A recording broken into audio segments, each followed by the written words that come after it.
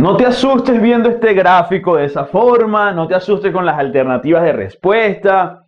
La invitación que te hago como siempre es que lo analices en todo momento. Mire que te están hablando de la región sombreada en la gráfica, a qué conjunto corresponde.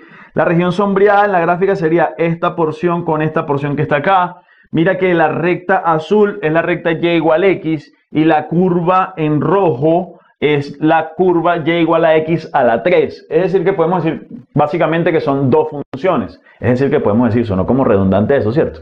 Son dos funciones, f de x igual a x y g de x igual a x a la 3. Ahora, esa región sombreada, ¿cómo se puede representar? Y ahí hay cuatro alternativas.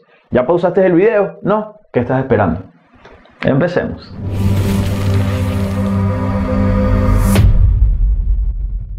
Ok, Vamos a empezar a analizar cada una de las opciones, pero antes de ello también vamos a interpretar nuestra gráfica y ver cómo lo vamos a resolver, ¿de acuerdo?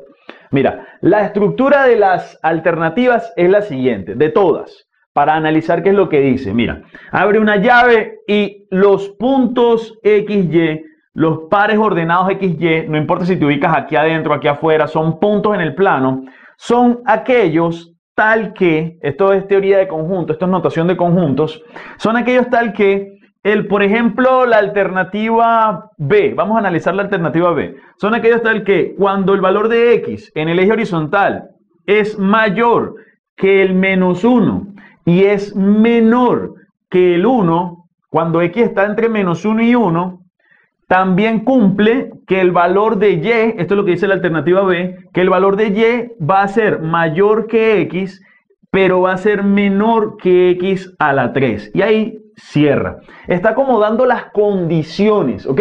Mira que da las condiciones. Son un par de puntos que para x tiene que cumplir esto y para el valor de y tiene que cumplir esto. Al final son como los límites, el borde para cada cosa. Mira que para x está limitándolo entre menos 1 y 1, pero y lo está limitando con x y con x a la 3, que son nuestras curvas. Entonces mira que y se limita con la gráfica, mientras que x se limita con los valores dentro de su eje. Entonces ahí dices, ok, ya teniendo claro esto, ahora vamos a establecer si eso será verdad o no, cómo quedaría nuestro conjunto del área sombreada. Te invito a que te vengas a la gráfica, vente. Tú vas a pensar que estás aquí metido. Métete ahí dentro en, en el área sombreada, ¿ok? Métete aquí adentro. Imagínate que tú estás ahí dentro y ves hacia arriba. ¿Qué ves? ¿Cuál es tu techo? Piensa así. Métete aquí adentro y ¿qué tienes de, en tu techo? Tú dices, no, bueno, mi techo, si yo me meto aquí, es la curva en rojo. Mi techo es x a la 3. O sea, no puedo pasar de allí. Es el techo. Y el piso. ¿Qué tienes de piso? Ah, el piso es la recta.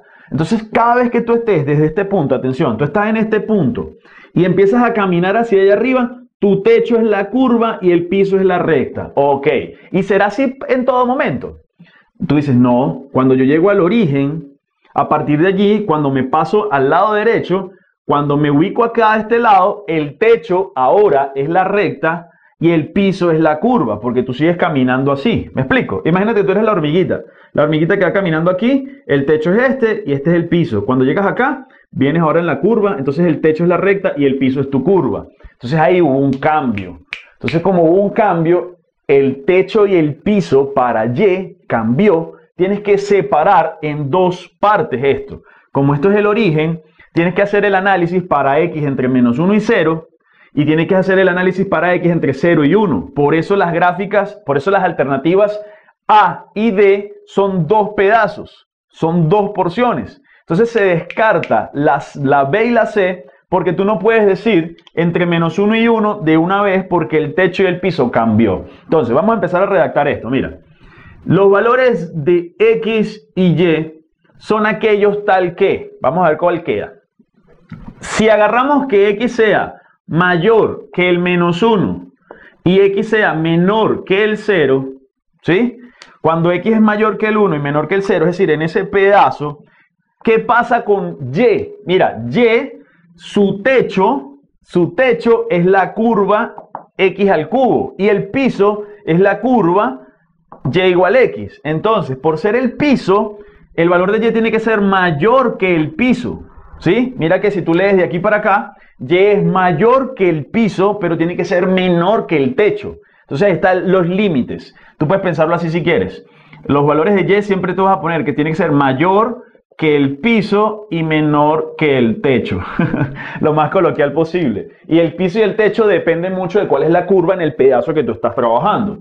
Entonces ahí establecemos cómo queda la expresión. Entonces, y tiene que ser mayor que el piso. De este lado el piso es y igual a x.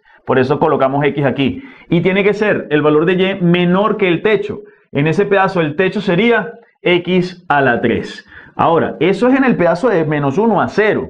Cuando ya terminas esta parte dices, ok, adicionalmente, cuando pasas al otro costado, desde 0 a 1, tienes que unir otra expresión. ¿Cuál sería? Y haces la de la derecha. Tomando esta misma analogía, vamos a realizarla. Pero tú puedes analizar, básicamente, y redundando otra vez, estoy redundando mucho hoy en este video, este, tú puedes concluir ya una de las opciones. Mira que la opción A dice, ok, de entre menos 1 y 0, y y tiene que ser mayor que x, y y tiene que ser menor que x a la 3. Eso es lo que dice la A. Pero la D está en al revés. Entonces en la D lo que hicieron fue que te cambiaron el piso con el techo. Entonces, en la D pusieron esta del lado izquierdo, mientras que está opuesto. Entonces ahí te das cuenta que la respuesta es la A. Pero vamos a seguir analizando la A. Entonces, la siguiente parte, entre 0 y 1, ok, para la siguiente parte, los valores de x, y son aquellos tal que el valor de x tiene que ser mayor que el 0, tiene que ser menor que el 1, y los valores de y, ¿qué pasa? Mira que en este pedazo, y, su techo es x y su piso es x a la 3. Entonces, el valor de y tiene que ser mayor que el piso, que es x a la 3, ¿ok? El piso que es x a la 3 y menor que el techo que es x. Entonces ahí cerramos el planteamiento. Y tiene que ser mayor que el piso, que es x a la 3, y menor que el techo porque es la que lo limita. Entonces, esto puede que asuste, pero creo yo que ya analizando cada uno de los pedazos, hacemos la interpretación y entendemos qué es lo que significa. ¿Sí o no? Entonces, no te dejes llevar por lo que ves a simple vista, es interpretar, razonar, saber qué es lo que significa. Mira que esto entonces, para concluir, esto está hasta aquí hablando de esta porción, mientras que este pedazo está hablando de esta otra porción. Se partió de menos 1 a 0 y de 0 a 1 porque son dos comportamientos diferentes. Ahí en 0 se cambió el techo con el piso. Ahí está la clave, ¿ok?